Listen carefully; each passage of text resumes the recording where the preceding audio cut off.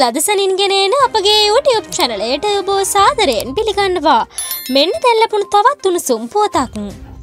රජයේ සේවකින්ගේ විශ්‍රාම වයස්සීමව අවුරුදු හැට පාකිරීමට අදාළ ගැසට නිවේදනය නිකුත් කර තිබෙනවා. රාජ්‍ය සේවා පළත් සභහා පළත් පාලනාමාත්‍යය ජනක බණ්ඩාර තෙන්නකෝන් මහතාගේ අත්සනින් යුක්තව අදාළ ගැසට නිවේදනය නිකුත් නිකුත් කර ඇති බව සඳහන්.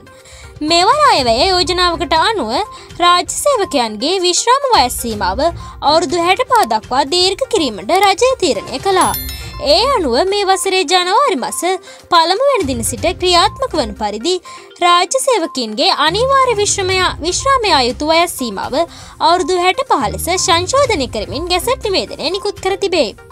ඕනෑම රාජසේවකෙකුට වයස අවුරුදු පනස් පහෙන් පසුව විශ්‍රාමයාමට හැකිවන අතර අවුරුදු හැට පාපිරුණු පසු අනිවාර්යම විශ්‍රාමගත යුතු බව නවකෙසට් පත්‍රය මගින් ප්‍රකාශයට පත් කර ඇත.